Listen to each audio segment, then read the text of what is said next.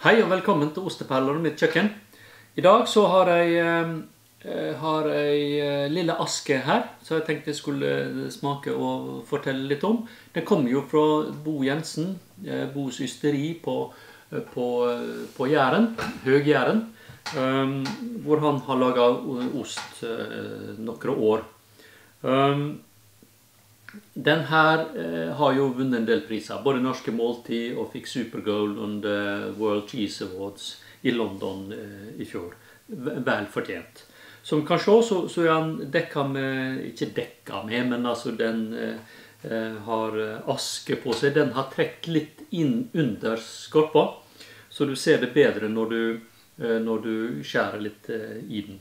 Veldig litt sånn fin og, og fast konsistens. Um, i, motsetning til enkelte av de andre ostene fra Bo, som har bitte lite grann eh, rennende ost akkurat innunder skorpen, eh, så er den her veldig sånn fin og, og, og, og jevn eh, eh, over, det, over det hele. Så du kan se liksom her er den veldig flott. Og så ser du at asken har trukket litt sånn inn under eh, det ytterste laget av skorpen, så den, den ligger der. Um, um, Skorpa kan du bare spise selv om den er eh, belagt med aske. Aske er noe av det, det er ren karbon, så det, det er bare å, å spise i vei. Uh, og det gir ikke noe spesiell smak til osten, så du, du beholder den, den rene smaken som, som osten og geitemelka gir.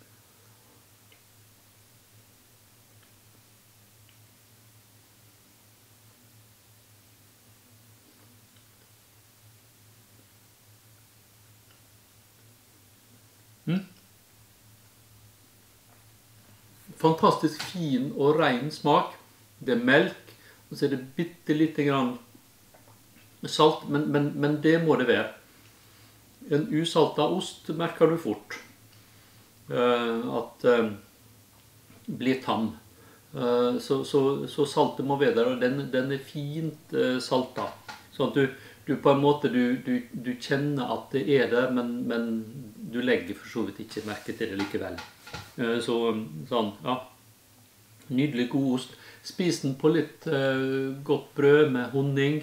Drikk ei, ei vin av Sauvignon Blanc, enten en Sancerre eller Puy Fumé til. Eller en god kopp te, uh, for den saks skyld. Med melk, må det være. Ikke sukker. Um, så veldig ve vellykka og, og, og god ost. Um, jeg syns du skal spise den som den er, og ikke legge den på grillen eller et eller annet sånt. Det, det fins det andre eh, ikke så på en måte edle oster du kan legge, legge der. Den her fortjener på en måte å bli nytt slik som den er. Vel bekomme.